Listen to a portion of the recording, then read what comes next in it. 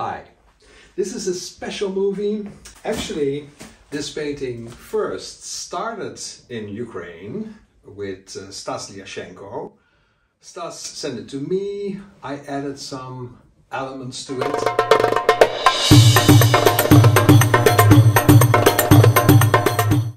Uh, there's a movie, another movie on my channel that shows this working together. This is a glorious day in the um, history of XP20, a group of painters which has thinned out a lot really, but it still exists and here is one of our products.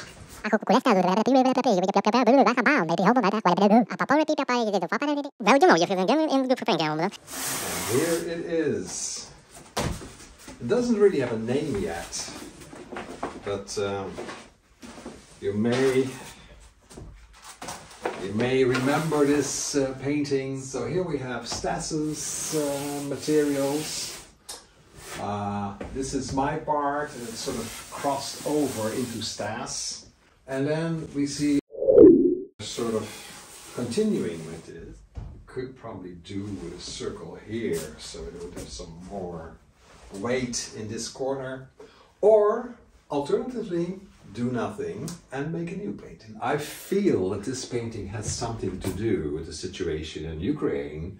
Um, well, at the very least, this part comes from Ukraine, and this part comes from Russia, and this part comes from the Netherlands. So, and it's often, you know, with these, you know, communal paintings, um, nobody is really responsible for the overall composition. I want to add something here that goes outside the square. And I was thinking of, you know, having some missiles here.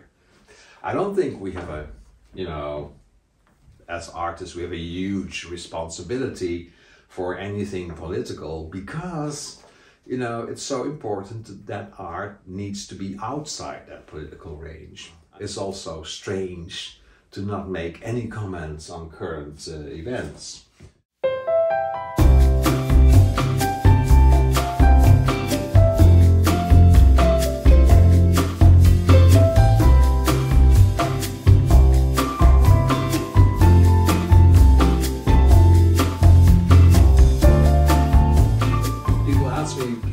Why do you paint rockets? Um, well, the good thing is that I recognize them as rockets, right? but I'm not saying that this is going to make any difference, but at least I think, you know, we should be sending a message that this issue, people, people being, you know, bombed to death in large numbers, that it's something that occupies our mind. It's something we are thinking about. Of course, something that we abhor, something we hate, but at least are we also expressing some of this? Well, I think there's lots of suffering in this uh, painting. So here I am painting rockets.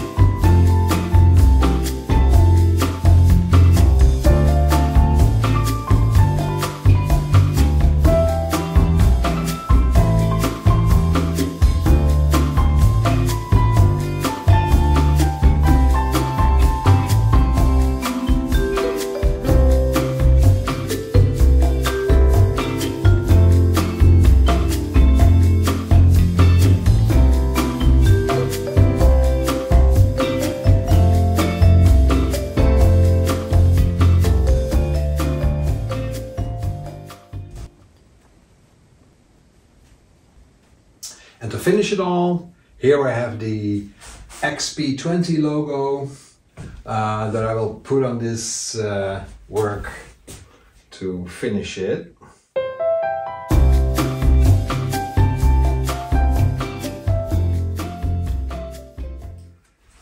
And there, dear viewers, you have it, a new XP20 work.